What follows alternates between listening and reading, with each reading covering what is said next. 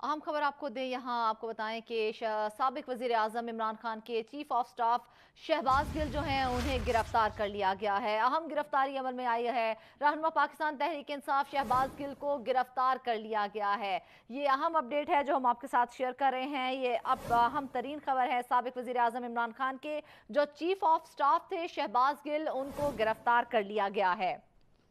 अहम खबर के हवाले से आपको अपडेट कर रहे हैं। आपको बताएँ कि पाकिस्तान तहरीक इंसाफ के जो रहनुमा थे, शहबाज गिल, और सबक वजी अजम इमरान खान के chief of staff Shahbaz Gill जो हैं, उनको हुकूमत की जानब से गिरफ़्तार कर लिया गया है। सबक वजी अजम इमरान खान के chief of staff Shahbaz Gill को गिरफ़्तार कर लिया गया है। तहरीक इंसाफ के रहनुमा मुराद सईद ने ट्वीट में उनकी गिरफ्तारी की तस्दीक की है, जबकि फवाद चौधरी का कहना है कि शहबाज गिल को बनीगाला चौक से बगैर नंबर प्लेट गाड़ियों में आए लोगों ने अगवा कर लिया है।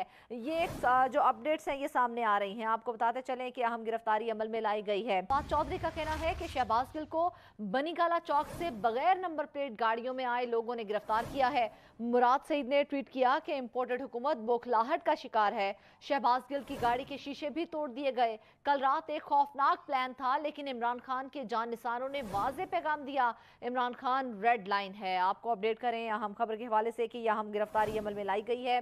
और रहनमा पाकिस्तान तहरीक इंसाफ शहबाज गिल को जो है वो गिरफ़्तार कर लिया गया है। तहरीक इंसाफ के रहनमा मुराद सईद की जानब से ट्वीट में जो है इस बात की तस्दीक की गई है। पुलिस जराये के मुताबिक शहबाज गिल को गद्दारी के मुकदमे में गिरफ़्तार किया गया है। तहरीक इंसाफ के रहनमा मुराद सईद ने यह ट्वीट किया है। उनमें उनकी गिरफ्तारी की तस्दीक की गई है।